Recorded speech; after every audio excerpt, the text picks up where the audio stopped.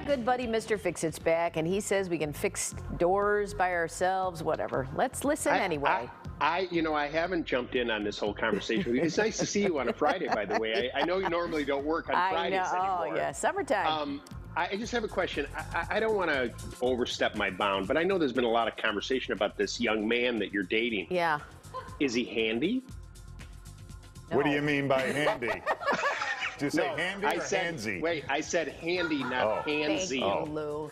No, oddly, not at all. So the Not- tradition of, of non-handy people just continues and continues, All right. Lou. Well, you you missed it because maybe these are some of the fixes. Maybe, hopefully, he's watching. I know he doesn't watch. TV, but maybe these are a few things he can help you out All right, with. thanks, and Lou. I, I get this question all the time about uh, sliding glass doors.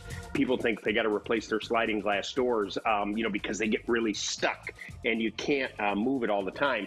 And it's really a simple fix. Most sliding glass doors on the bottom of them have these two little tabs that you can remove this cap with a screwdriver, or sometimes you have to take a little uh, knife to pop it off. The, what happens is the door kind of sinks and gets stuck against the bottom there.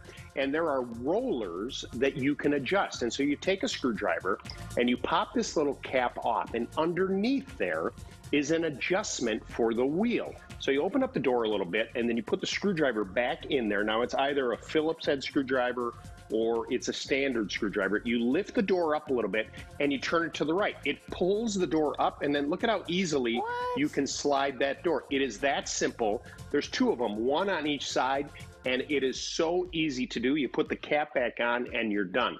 People ask me this all the time, and it's as simple as make sure the track is clean, of course, but don't ever put oil there. This is another one, and a, a door that you close and it doesn't latch. You know, you can just push it open. Yeah. Over time, what can happen is the doors can sag.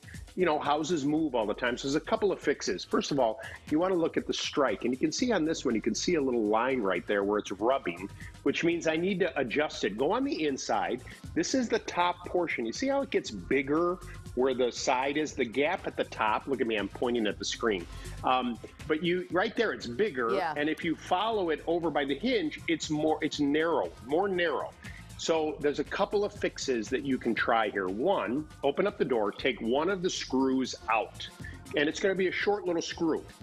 Get a longer screw, like two and a half inches long, and with that same screw gun, drive that screw in through the frame into the framing underneath there, and it'll pull the door up so that the door closes. Ah. Now, if that doesn't work, I have a trick that I learned years ago with lipstick.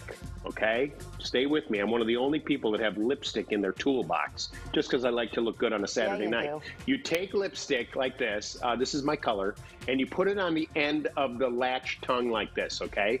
Then what you do is it, you know, it's kind of sticky and it leaves a little residue.